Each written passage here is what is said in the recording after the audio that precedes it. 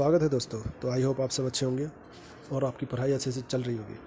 तो आज का वीडियो है, मैं बस ये टॉपिक पे बात करूँगा कि S B I clerk prelims result जैसे थंबनेल देखा आपने, ठीक है?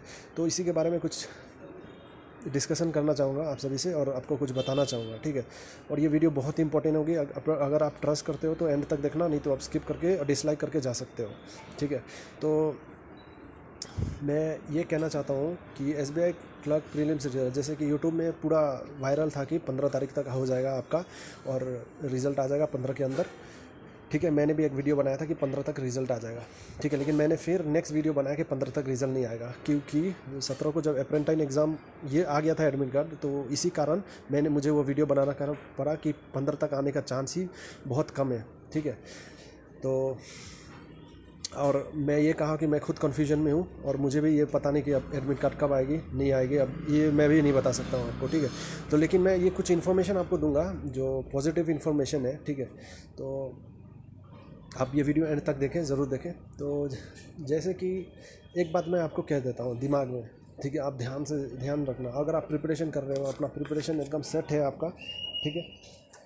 नॉर्थ ईस्ट के कैंडिडेट हो आप या कहीं के भी हो, लेकिन स्पेशली तो मैं नॉर्थ ईस्ट के लिए बनाता हूँ वीडियो, लेकिन आप कहीं के भी हो तो अगर नॉर्थ ईस्ट के कैंडिडेट हो, अगर प्रिपरेशन आप कर लिए हो छः महीना, सात महीना, आठ महीना का जी अगर रेडी है आपका तो समझ लो आप बहुत आगे हो, ठीक है? और नहीं भी पढ़े हो तो कोई बात नहीं, आप पीछे नहीं हो, याद रखना आप पीछे नहीं हो, बराबर हो सकते हो पूरा, ठीक है? जो छः महीना पढ़े या जो छः दिन पढ़े, बराबर हो जाता है कभी कभी ठीक है? प्रूफ मैं देखा हूँ ये, इसलिए मैं आपको बता रहा हूँ ये बात। ठीक है? तो आप आप ये करें अपना स्टडीज़ कंटिन्यू रखें और डिमोटिवेट ना हो। रिज़ल्ट का मैं एक बात ही आपको बताऊँगा। रिज़ल्ट ना आज भी आ सकती है, मेरे अनुसार, क्योंकि एस बी आई पर मैं थोड़ा भी ट्रस्ट नहीं करता हूँ। ठीक है? मैं थोड़ा भी ट्रस्ट नहीं करता हूँ कभी भी रिज़ल्ट दे सकती है। तो आज के दिन भी रिज़ल्ट आने के चांस है। ठीक है, मेरे अनुसार। वो कभी भी दे सकती है रात, शाम को सात बजे, आठ बजे या रात के बारह बजे या कभी भी। तो मैं उस पर ट्रस्ट नहीं करता हूँ, वो कभी भी आ सकती है। तो समझ लो, अगर आज आपका रिज़ल्ट आया तो दस दिन बाद आपका एग्ज़ाम होगा, पच्चीस को होगा। तो सोच लो, आपके पास टाइम कितना है। तो यही हिसाब से आपको एनालाइज करना है खुद के प्रिपरेशन को। ठीक है? तो रिज़ल्ट नहीं आया तो बहुत अच्छी बात है, आपको और एक दिन मिल जाएगी। ये सोचना कि रिज़ल्ट नहीं आया, मैं प्रिपरेशन स्टार्ट कर दूँ, अगर नहीं भी किया हूँ तो दस दिन का मेरे, दस दिन का टारगेट रखो मेंस की तैयारी, वो दस दिन में करूँगी। क्योंकि रिज़ल्ट कभी भी आ सकती है यह बात याद रखना दिमाग में। पॉजिटिव रहना बस, ठीक है? तो पॉजिटिव रहना और प्रिपरेशन में लगे रहना। जीके याद रखना। GK specially North East candidate के लिए मैं ये बात कहना चाहता हूँ। जीके अगर आप पढ़ लिए ना अच्छा से जी जी के कारण मैं बहुत सारा मेंस फेल हुआ हूँ जीके का कारण, क्योंकि मैं पढ़ नहीं पाता था। आउट ऑफ़ फिफ्टी मुझे पंद्रह या अठारह वही उसी में रहता है। कभी मैं बीस भी क्रॉस नहीं किया हूँ अभी तक, ठीक है? तो मैं लास्ट मोमेंट में पढ़ता हूँ, दस दिन में पढ़ता हूँ, पाँच दिन में पढ़ता हूँ तो इसी कारण। तो इसलिए है कि जीके को ना आप लाइटली मत लो। जीके आपका एग्ज़ाम क्वालिफाई करा सकता है।